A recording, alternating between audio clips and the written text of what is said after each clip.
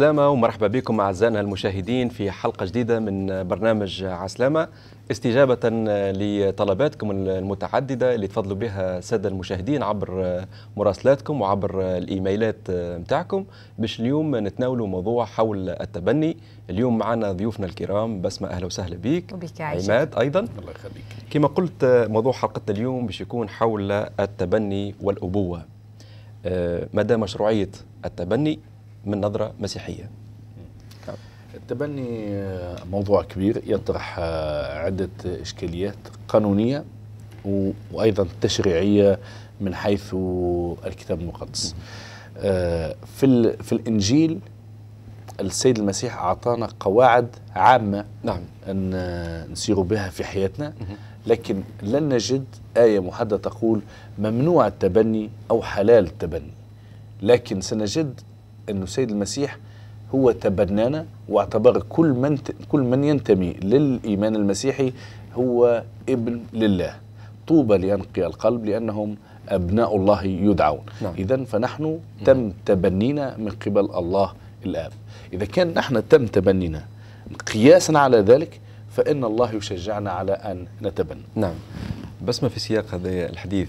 لو كانت تفضلي ربما تعطينا بعض الشواهد ربما الكتابية تعرف نعم. قبل ما نحب نمشي للكتاب شنو. يقول نحب نحكي على إنه التبني موضوع كبير ياسر وحاجة كبيرة برشا في المجتمعات وحساس في نفس آه الوقت أي و- وفما اللي شكون معاه وفما شكون ضده آه إن كان دينيا تشريعيا قانونيا وشكون زاد زاد نعم. تقاليد وعادات مجتمعات. آه زرت برشا بلدان وبرشا ثقافات مختلفة وشفت اللي بالحق فما فما احتياج لعائلات بدون أبناء وفي نفس الوقت شفت أبناء بدون محتاجين عائلات. آه عائلات.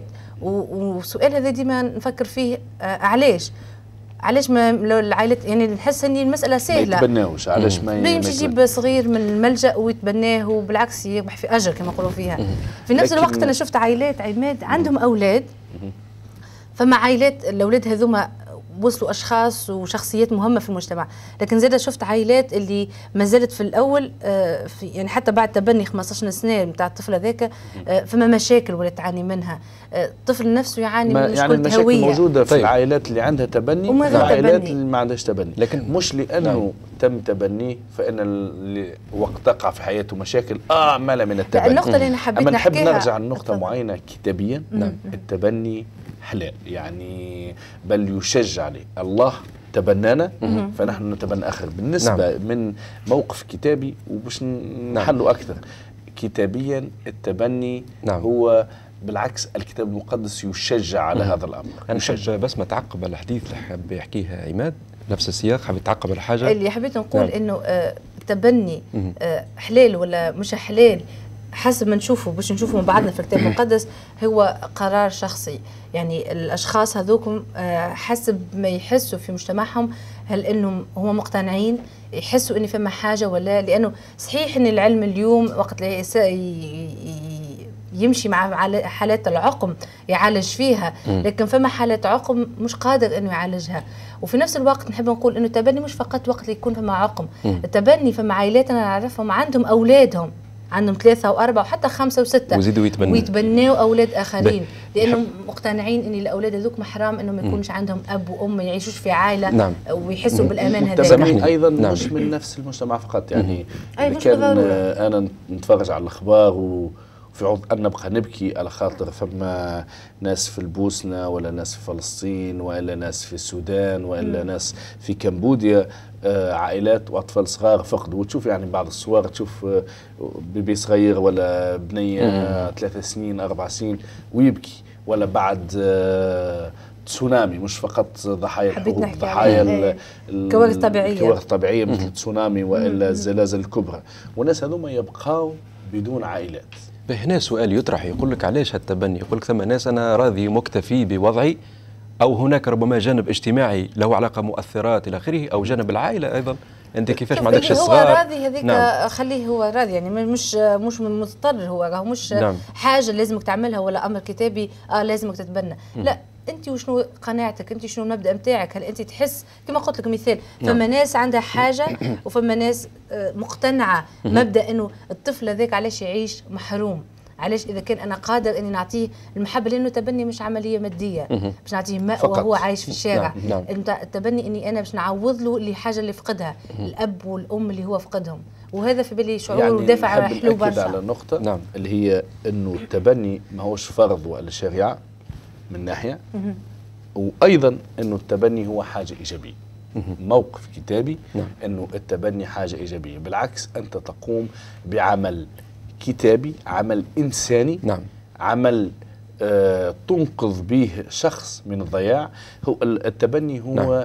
لفائدة ذلك الطفل أو تلك الطفلة من التشرد. شنو وبالتالي مصير؟ المجتمع الكل. مصير برشا صغار ملوحين يعني آه، في الشوارع. أتحدث عن شوارع أتحدث عن أطفال موجودين على الأقل في ملاجئ. هذوكم على الأقل لقوا فرصة أنهم وين وين يعيشوا. أما فما شكون اللي اللي يعيشوا في الشوارع وما نتحدثش على بلد معين. نتحدث عن ظاهرة نعم. شفتها في نسمع عليها في الأخبار نشوف أنه فما ما يسمى بأطفال الشوارع. لكن هنا إذا طرح سؤال ويذهب البعض يقول لك ندرى هالتبني ذا okay صحيح هي حاجة باهية وربما تحل عدة مشاكل لكن بالمقابل هناك مخاطر وربما هناك سلبيات تنجر على الطرفين المتبني والمتبنى يعني التبني نعم. أنواع. مثلا آه، خلينا نبداو بالاطفال الذين يتم تبنيهم. المخاطر اللي يتعرضوا لها مثلا إنه نفسيا إنك تخدعهم. يعني ننص- ننصحه كتابيا. شو معناتها تخدعهم لو يعني إنك تعطيه اسمك واللقب نتاعك ومن بعد يوصل سن المراهقة. يكتشف واحد من. العائلة يقول له الكلمة واحد يمكن في عركة في العائلة يتسب بها خاصه إنه فما ناس ما تقدرش قيمة التبني. نعم. أنا نعرف في مجتمعات آه، معينة التبني يشجع ليه والكتاب المقدس لأنه فرض علينا نقول الحق. كما هو نعم. الطفل وقت تبناه من اللي هو صغير يعرف اللي هو إنه تم تبنيه يكون شاكر يعرف يعرف اللي هو أنت تبنيته يمكن لأنه أبوه وأمه ماتوا في حادث يمكن لأنه أبوه خلوا وأمه. فقراء لأنه وقع حادث معين في حياته آه، ولد في ظروف آه، غير عادية من نعم. حرب من بلاد أخرى مهما كان السبب أما من المهم إنه الطفل تقول له لكن وقت ما تقولوش ويكتشف هنا تقع الصدمة، نعم. واحد. ثم مخاطر أخرى للتبني إنه فما عائلات فما شكون الآن آه، اللي يمارسوا الشذوذ الجنسي أما في نفس الوقت يحبوا الأطفال يحبوا عندهم أطفال. هذا خطر على التبني. ثم خطر آخر في التبني فما ناس تتبنى باسم التبني لكن بعد يقومون بعملية المتاجرة بالأطفال. لكن نحن هنا نتحدث في الجانب هذا يا أخويا عماد بين قوسين لو سمحت نفتح يقول قائل تو الناس هذوم باش يتبناوا العائلة أو الأب أو الأم إلى آخره يخضع ضمن ربما قوانين معينة التزامات معينة ديما حتى- القانون حتى تنظم. تبع لك للدار القانون الدولة نعم. مش الدول بصفة عامة. تنظم تنظم عملية آه، التبني في النقطة هذه فما أشخاص يتبناوا نعم. لكن الطفل هذاك يولي آه، درجة ثانية في العائلة يولي آه، يعني أنا مع احترامي لكل الناس اللي قدموا الخدمة في البيوت لكن حتى أقل منهم هما وهذا خطر آه، مش في كل الدول فما موجة اجتماعية تزور الب- تزور البيوت وتزور ال- الآباء وتتبعهم فما دول قادرة إنها تعمل هذاك لكن في أغلبية الدول مش قادرة تعمل هذاك هذاك علاش الواحد أنا لازم يكون عنده وعي عندي. اختبار. شخصي. نعم أنا زوجتي آه، آه، هي تم تبنيها من أبوها وأمها الحاليين نعم. وقت اللي هي عمرها بضعة أشهر. وليست هي فقط يعني أبوها وأمها تم آه، قاموا بتبني خمسة أطفال. وهي زوجتي الآن تعلم نعم. من اللي هي صغيرة اللي هي تم تبنيها. وباباها وأمها اللي رباوها بالنسبة لها هما كل حياتها. وعندما وصلت المراهقة لم تمر بمرحلة الأزمة هل إنه هذوما مش بابا وأمي؟ لا هي تعرف اللي هذوما باباها وأمها اللي رباوها ما همش بوها وأمها اللي أنجبوها. وكما يقول المثل التونسي يعني الام مش ال- مش اللي تجيب. الوسادة غلبت الولادة. تقصد على اللي صح. الزوجة. نعم. لكن هنا أيضا اللي يربي الأب والأم هما بالتربية. نعم. لأنه العلاقة هي تنشأ مع الزمن. أنا وقت ابني ابني زكريا ولد نهار الأول فرحان. أما مانيش فرحان لأنه لا ذكر ولا بنية عل... ولا ولت عندي علاقة به. علاقتي نعم. بابني كبرت ومحبتي لابني تزداد ولا لبنتي كل يوم من خلال علاقتي بهم. مش لأنه أنجب. يعني الحيوانات تنجب. لكن تعرف ديما يبقى هنا ربما مشكل قائم ربما بس ما تحب تجاوبنا في هذا. نظرة المجتمع دايما الدونية. الدنيا للتبني هذه. آه، للأسف. قديمة في بالإدانة. التاريخ نعم. قديمة قري- قديمة ياسر نعم. ومجذرة في التاريخ وقت نقراو في سفر التكوين في قصة آه، معروفة آه، قصة إبراهيم وسارة آه، إبراهيم وسارة وصلوا عمر متقدم وما كانش عندهم أولاد فكانت في عادات المجتمعات الشرقية في الوقت هذاك نعم. ال- عندهم جواري وأولاد الجاريه اللي تولدوا في البيت نتاعها هما يصبحوا أولادها فسارة لأنها تعرف العادات هذيك هي قالت لابرام قالت له آه، ليصبح إبراهيم بعدين الرب منع عني الولادة فضاجع جاريتي لعل رب يرزقني منها بنينا. نعم. وعمل آه، إبراهيم كما طلبت وجابت له إسماعيل وهي تبنت آه، في فترة معينة إسماعيل. القصة دي ما تعنيناش شنو اللي صار بعد لكن شوف هي مدى وعيها. يعني إذا نشوفوا في التاريخ في يعني القصة هذه آلاف السنين الناس كانت عندها وعي. اني ما عنديش أولاد نحب يجي يكون عندي أولاد والقصص آه، تتكرر في نعم. العهد القديم نعم. نحب نحكي بعض القصص الأخرى كما تفضل. تفضلت الأخت بس نقاط نعم آه، إحنا باش ناخذوا مثال- أمثلة من الكتاب نعم يعني مز... عندي وقت يعني اي إيه، تفضل تفضل نعم. آه فما مثال النبي موسى مهم. وقت آه أمر فرعون بقتل كل الاطفال العبرانيين أم موسى آه حطت الطفل هذايا في سلة مهم. وفي مشى للنيل في نهر النيل نعم ابنة فرعون تبنت آه موسى. وتربى في قصر فرعون نعم. وكان يعرف اللي هو من أصل آه، من عبراني. أصل عبراني وأمه هي اللي آه، امه الحقيقية هي التي أرضعته نعم واحد آه عندنا مثال ثاني ونشأ يعني عفوا في نفس المثال ونشأ موسى هو.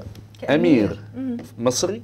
وفي نفس الوقت لم يتخلى عن أصوله العبرانية وفيما بعد كان مخلص إسرائيل نعم. وهو نبي عظيم. نعم. إذا هذا أحد أعظم شخصيات ال- ال- الديانات آه، المؤسس موسى هو عاش التبني. إذا كان موسى نفسه هو مثال للتبني. والله الله أنا متأكد أنه يريد أن يعلمنا درس نعم. من مثال موسى الذي تم تبنيه. نعم. المثال الأول المثال الثاني سامحني يا عماد هنا باش ناخذوا خاطر فاصل مع بعضنا. باش نكملوا في الأمثلة من الكتاب المقدس. بالمقابل زاد باش نكملوا أمثلة من الواقع. ناخذوا فاصل مع السادة المشاهدين ثم نعود معكم بعد قليل.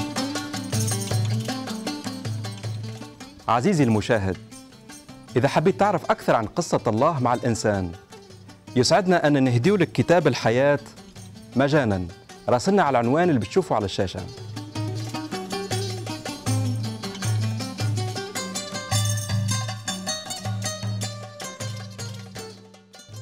مرحبا بكم من جديد أعزائنا المشاهدين. نعاود نذكر بموضوع حلقتنا اليوم هو حول التبني والأبوة.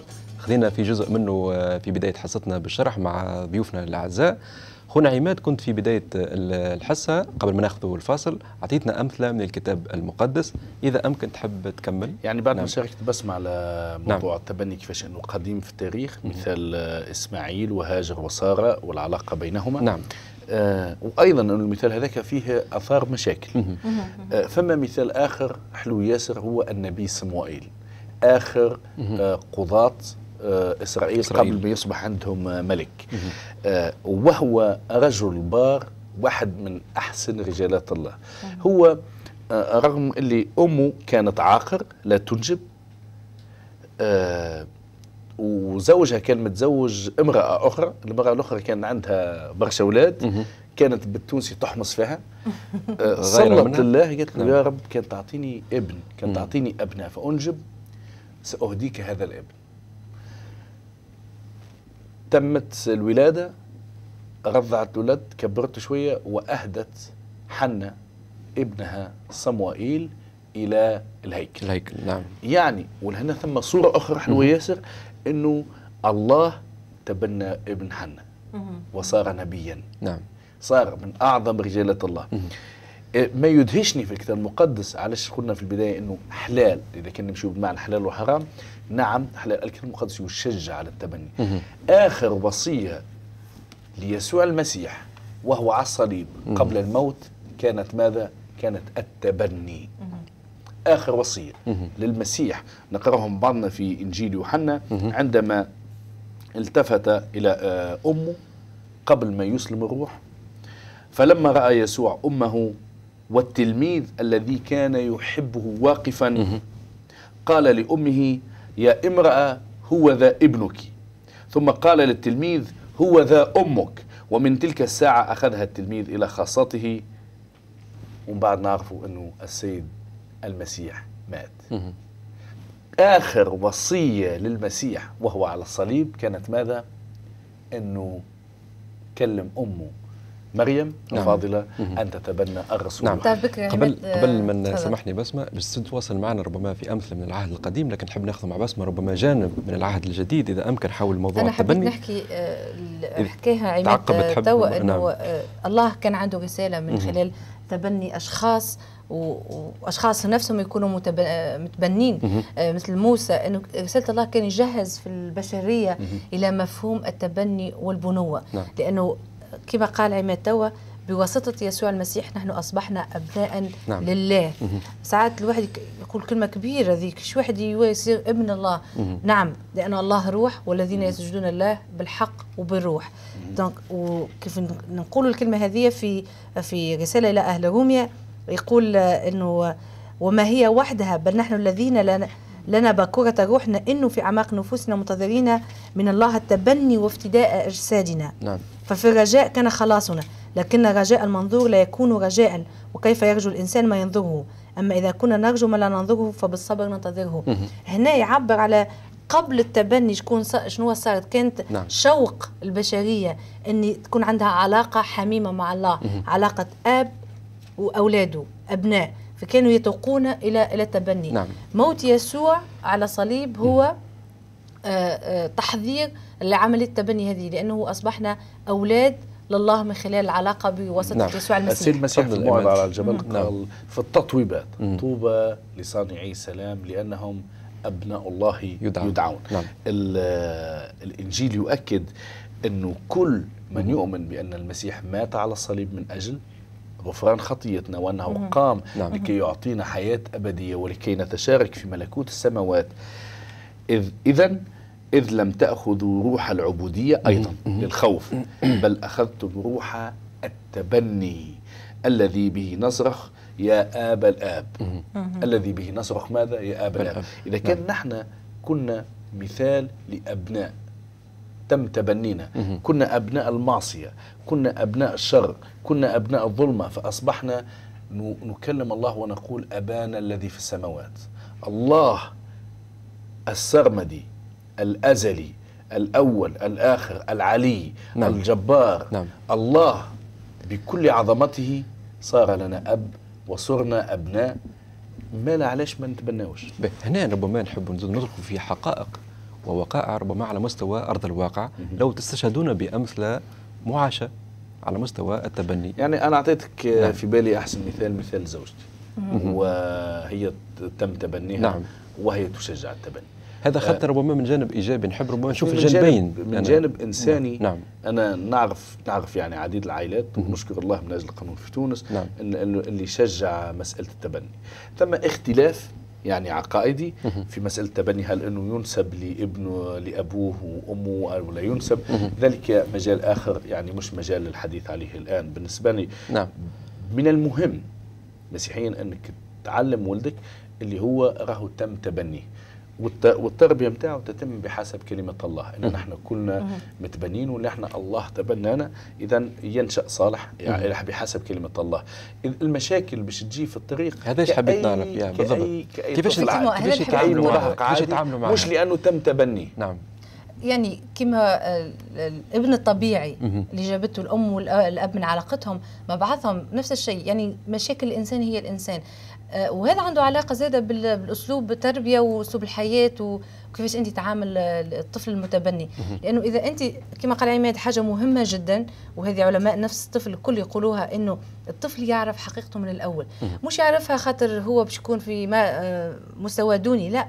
يعرفها باش يكون متحضر لها يعني باش ما- نعم. ما يكونش شوكي ولا شوقي وقت اللي الناس تقول له أنت متبني. ويتبن ويكبر. بالعكس يفتخر يفتخر إنه مهم. عنده أب وأم كما أنت وكما أنت. واحد. اثنين ثم مشكلة أخرى يعني تكلمنا عن المشاكل. مهم. إذا كان التبني في أنواع زاد. وقت أنت تتبنى وليد صغير بيبي باش تربيه كما تحب أنت بالضبط وبحسب كلمة الله أما وقت ترب- تتبنى أيضا آه، واحد كبير. لهنا فما- فما فرق، فما فرق فما. فما فرق نشجع أيضا على التبني يعني واحد يفقد عائلته وهو عمره ست سنين سبع سنين تسع سنين في حادث نعم. في مشكل في زلزال في حرب أما طريقة ننبه إنه طريقة التعامل مع هذا ال- النوع من التبني تختلف عن آه، تعرف عماد هو يحكي. أنا أنا ذكرت. حاجة نعم. في في عائلتنا. تعرف أنا كبرت آه، إحنا ثلاثة بنات ثلاثة أولاد. أما أنا كبرت مع عندي عدد من الإخوة والأخوات عندي آه، وما عندي محبة ليهم. نعم. ما عطاوهمش بابا وأمي اللقب نتاعهم وكان عندهم ابائهم وأمهاتهم.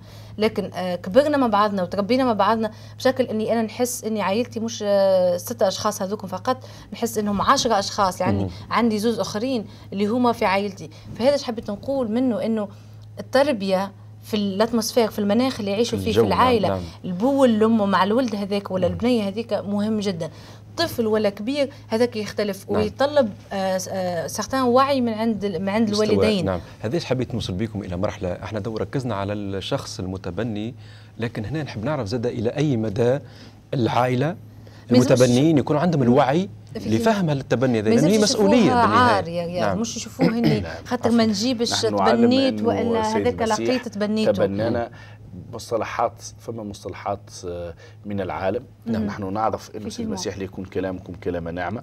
واحد نعم. ال- العالم يعلم يعني وعندما نقول العالم التعليم بتاع المجتمعات والثقافة والتاريخ وما تورثناه نعم. يختلف عن تعليم السيد المسيح نحن كلنا خطاط وسيئين ما ثمش ح- يعني من العيب من العيب إنك تلفظ كلمة باش تقول هذاك ابن شرعي وهذاك غير ابن شرعي. وصف قانوني. يعني نفهم في المحكمة ما عندش حتى مشكلة. لكن في المجتمع مثلا واحد يقف يسب واحد آه أنت مش ابن شرعي. محسوب.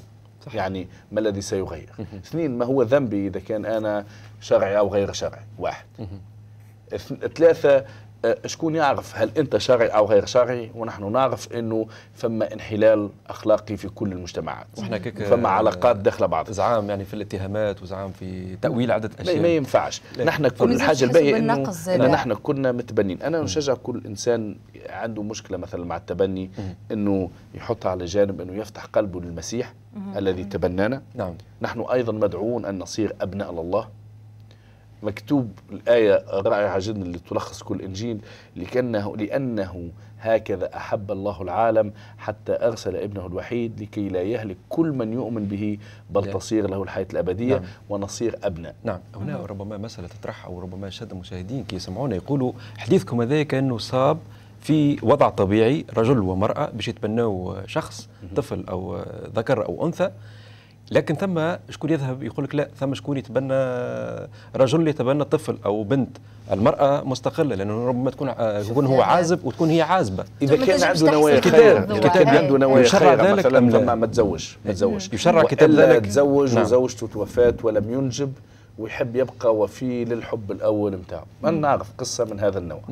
زوج توفت زوجته ويحب يحب مرته على الآخر. ما نجمش ما نجمش ما يحبش عرس ويتزوج مرة أخرى. نعم. اذا التبنى في الحالات هذوما يعني جائز ونشجع عليه. مش مش مشكل. الحالة الأفضل ما تحس إنه أنه ثم عدم توازن يصير؟ الحال الحالة الأفضل نعم. إنه يكون عنده أب وأم. أما نفس الشيء باش فما شكون أطفال وقت اللي يموت له الأب أو الأم باش يكون يتيم. وحده. هذه حبيت نقول يعني أنا عندي؟ صحابي عندي. صحابي آه،. عزاب سواء امراه ولا راجل ومتبنين متبنين أولاد وأولادهم بالعكس أنا نشوف إنه عندهم يعني نعم. مش الحالات الكل باش تكون هكاكا. أما اولادهم آه، متوازنين وعايشين لاباس عليهم و إذا أما كانت الخل... الخلفية كتابية وإذا كان يكون الشخص هذا به أما. من نتحدث عن التبني نتاع الشواذ. لا. لا هذاك هذاك مش نعم. موضوعنا أساسا مش مطروح في بالنا لأنه الناس اللي تفكر هكاك آه، عندها مشكل. إحنا نحكيو على ناس تحب مصلحة الطفل هذاك وتفكر زادة في مصلحتها. لأنه لازم ناخذ الموضوع من جانبين. مصلحة الطفل لكن زاده فما مصلحة لي أنا. مصلحة إذا نعم. أنا ما عنديش أولاد ومصلحه إذا أنا ما عادش قادره إني ننجب. آه، يعني فما حاجات دوافع متعددة وف- وفي الآخر هي لمصلحة الطرفين وحاجة باهية. التبني أمر رائع جدا. نعم. للع... للعائلة وللطفل يعطيك- وللمجتمع بصفة يعطيك عامة. الصحة لكن هنا نحب نطرح ربما إشكالية. يعني مش إشكالية بقدر هناك تحضير على مستوى التعليم ككنيسة قبل الشخص ما يتبنى. تحضروه تعلموه كيفاش ربما نعم، يتعامل مع المسألة؟ نحن نعم. التعليم الكتابي والكنسي يشجع عملية التبني لأنها تنقذ المجتمع تفرح عائلات لأنه وجود طفل في عائلة يفرح. نعم. آه، اثنين تنقذ طفل أو طفلة من الضياع في الشارع. التعليم الكتابي يعلم إنه وقت تتبنى تعلم الطفل هذا تعلمه بحقيقته. آه، أيضا تجنب مشاكل وقت تعلم بحقيقته تتجنب إنه ما يقعش في زواج زنا المحارم زنا محارم المحارم المقصود به ربما يعني إنه في يوم ما نعم. تتزوج أو يتزوج اخوه وما يعرفش ولا أخته وما يعرفش. بينما وقت يعرف أصله من المهم إنه يكون عنده يتخذ يعني ي- ي- يمنع. اثنين آه باهي لل- للتوازن العاطفي نتاعو والنفسي ثالثا وقت هو يتربى على كلمة الله باش يكون شاكر. إنه بالحق أشكرك يا رب لأنك وضعت فلان وفلانة انهم ات- اتبنوني وأنقذوني من من مصير آخر. نعم. هذا يذهب أيضا مع موضوع آخر تعرضنا له في حلقات سابقة وهو الإجهاض. هذاك علاش؟ المسيحية هي ضد الإجهاض. تقول مثلا جبنا أولاد وما عندناش باش نربيوه. لا فما عائلات أخرى محتاجة إلى فرحة ابن. وما عندهمش الإمكانيات إنه يكون عندهم ابن يعني زاد ربما عملية الانطلاق في التبني. يعني تخضع هي على مستوى معارف شخصية ضمن مجتمع معين أو تخضع إلى تعامل ضمن مؤسسات بحسب المجتمعات. معينة. بحسب المجتمعات نعم. والتبني اليوم مثلا في في الغرب ولا مكلف مكلف جدا والقوانين أصبحت صارمة جدا. يعني برغم التقدم فما دول أوروبية نعم. كما فرنسا أنا سمعت أخيرا إنهم يطالبوا فما آه، آه، أولياء آه، واباء وأمهات ما عندهمش أولاد ومقدمين مطالب للتبني 15 و20 سنة. فلازم بالحق آه، نشجعوا نشجعوا الحكومات نشجعوا الناس اللي تقدم على العملية هذه باهي إنك تتبنى قانون التبني في تونس في تونس آه، ما عندناش باهي. مشكل هذايا. وأيضا. يحمي أطفالنا من التبني بالعكس يصير على اختيار لقب ليهم تعرف حتى أنا نعرف إنه فما قانون الأولاد اللي يتولدوا في حالات آه، يعني ما فماش لا أب نعم، وأم معروفين نعم. الدولة نفسها تعمل مباد- مبادرة انها تختار لهم أسماء ولقب عائلي ويعيشوا بحاله طبيعية ويعيشوا ويعيشوا حتى- وتعملهم يعني نعم. فما ال- ال- الفيلاج أسواس هذه إنه يعملوا لهم أب وأم نعم. يهتموا بهم هذا مهم لكن الأحلى من هذا الكل إنه يكون عنده عائلة نعم. عائلة طبيعية وأيضا. نحب نمشي لنقطة مهمة نعم. اذا كان مازال فما وقت آه، ثواني آه، إنه نعم. نحب نشجع إنه المتبنى ما يحسش بالعار لأنه نعم. كنا متبنين.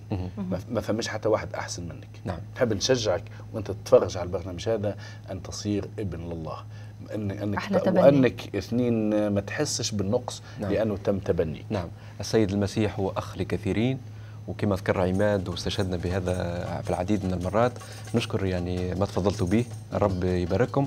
أعزائنا المشاهدين آه، نشكر استماعكم وفي ختام حلقتنا نقول لكم إلى اللقاء في موضوع آخر والرب يبارككم.